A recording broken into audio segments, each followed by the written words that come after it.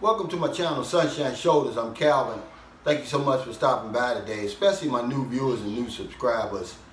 Thank you so much. Your kindness, your generosity, your support of my channel has truly been amazing. I never take that for granted. Subject of my vlog today is uh, Filipinas. There's five ways to tell if your boyfriend or husband loves you. And this is in response to a request from one of my subscribers, B Wheels. Thank you. It's a great suggestion. Uh, you know, uh, it's a subject of contention. And because a lot of my viewers, a lot of my male viewers, they're from this men going their own way movement. And they somehow think that when you treat a woman special, uh, it's a sign of weakness. But I disagree with that. Uh, but they're, uh, you know, they're, uh, they have a right to their own opinion, their own way they see things. But number one is he's physical with you in a good way. Uh, he wants to hug you. He wants to kiss you. He wants to make love to you. And Filipinas, let me say this because this is always this. It always gets uh, shaky in this part. It's not because he's a pervert or he's a sex addict or that's all he wants. Men are wired that way. Some of us. Some of us we can't look you in the eye and tell you that we love you, but we can do it in action. And that's one of the ways that a man shows his affection. He shows that he loves you through the physical means. So, and it's another sign that he's lost interest if he no longer hugs you, kisses you, wants to make love. But that's the number one sure sign of a man loves you. A lot of us, we can't put it in words, but we can put it in action. So, you know, he wants to be physical. He wants to hug you. He wants to kiss you. He wants to make love with, with you. Uh, number two is he supports you. He's your biggest fan. Okay, so if you want to go back to school to pursue that degree that you didn't have time for uh, early on, he's going to be uh, behind you. He, has got your back. Uh, if you want to start a family, he's going to support you because see, this a lot of times means putting your needs in front of his. But it doesn't matter what you want to do. You want to work extra hours at work to support your family at home. He doesn't have a problem with that. He's your number one fan. He wants to support you and he's going to be there every step of the way. So he supports you, ladies, no matter what it is you're trying to do. Number three is he's proud of you. He wants to take you around to his friends, his family, his co-workers, and show you off. He's proud of you. He adores you. He will literally kiss the ground that you walk on. Because he's put you on this pedestal. Not as some type of idol, not to worship you. Because he's proud of you. He says, man, I love this woman. I'm so proud of her. She's smart. She's intelligent. She's beautiful inside and out. She's a great human being. She's a great mother, a great friend. Yeah, he's proud of you. He adores you. And he will kiss the ground you walk on. It's a sure sign that your man loves you and you're more than just a pastime to him, ladies. So, you know, but then again, if you're not paying attention to this stuff, these five signs that I give you, these five ways I give you, it's not going to mean anything. See, there's a lot of cultural differences between the foreigner and the Filipina, but there's some ways to easily tell if he's into you, if he loves you. Number four is he's going to spoil you. He wants to make sure you have the best things in life. He's going to do his best. He's going to give you his best to make sure that you have the best. The best clothes, the best house, the best car. He's going to spoil you. He's not going to spare any expense to make sure you're happy and that you're satisfied. This is a sure sign, ladies, that he loves you.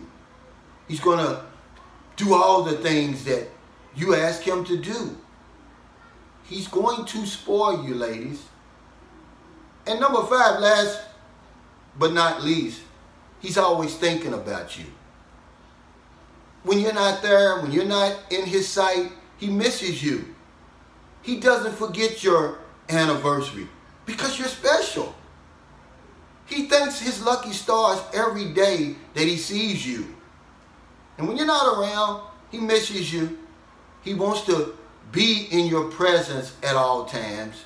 He thinks about you all the time. He remembers the day you met, all the way down to every detail. Yeah. He brings you flowers. He brings you chocolate. Yeah, sometimes when you come home, he's already cooked. He's already uh, cleaned the house. He's made, he's run the bath water for you because you're special to him. He thinks about you all the time. He places your needs above his. Yeah, he thinks about you all the time, see? And if he forgets your birthday, your anniversary, when you met, how you met, and all that's a sure thing, ladies. See, there's some things that are not on the list because these are flashing red lights for you to throw him back in and start over. Number one, he's controlling. See, now don't confuse that with uh, he's always thinking about you. He always wants to be around you. He misses you when you're gone. Don't confuse that with that. See, a controlling man is dangerous. Jealous is number two. I didn't put that on the list because a dangerous man, a jealous man is also a dangerous man. He always, uh, don't confuse that either with always want you in his sights. No, that's something totally different. See, people that jealous, jealousy is a form of insanity. So once again, Filipinas, this is my message to you. Five ways to tell if your man loves you your husband or your boyfriend loves you and you're more than a past. pastime. Number one, he wants to get physical with you all the time. In a good way. He wants to love you. He wants to hold you. He wants to kiss you. Not because he's a sex addict, not because he's a pervert, because that's how some of us express our love for you. We can't put it in words, we can put it in action. Number two, he supports you wholeheartedly in whatever it is you're trying to do. You want to go back to school? Go ahead, I got your back. You want to work a few hours to take care of your family that you left behind over in the Philippines because he knows you were the breadwinner. He has, a, he has no problem with that. He's your number one fan, ladies and gentlemen.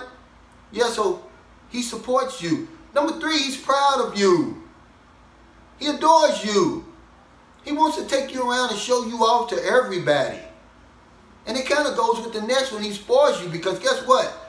He loves you. He adores you. He always wants to be around you. He wants to make sure that you have the best that life has to offer. And he's going to do his best to provide the best for you.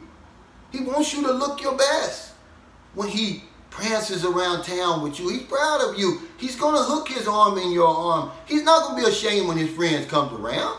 He's not going to be ashamed of you. He's going to put you on a pedestal, not to covet you, not to idolize you, because he will literally kiss the ground you walk on. So he's proud of you. Number four, he's always thinking about you. He's always thinking about you. He does, he remembers when you met, how you met. He remembers your birthday, your anniversary, these things are important to him. He thanks his lucky stars that you're in his life. Ladies and gentlemen, trust me on this. There's a lot of cultural differences, but it's easy to know if your man loves you. He wants to get physical. He supports you. He's proud of you. He spoils you. And last and certainly not least, he always wants to be around you. He doesn't matter if y'all work together. When you get home, he still wants to take you to dinner. And when you're not there, he misses you. He's not trying to be controlling. He's not jealous. But he adores you, ladies. So thank you so much for stopping by. And thank you, B. Wills, B. Willis. You know who you are, and I appreciate you for this suggestion. It's long overdue. In America, it's already late. I hope you help somebody. But if you're on one of those late grocery runs, beer runs, weed runs, you're just getting off second shift, or you're on your lunch break on third shift, and you see somebody in the street, them something to eat, them something to drink, give them a couple of dollars. If you're in the Philippines, it's about 10.30 a.m. You still have the whole rest of the day to find somebody to help.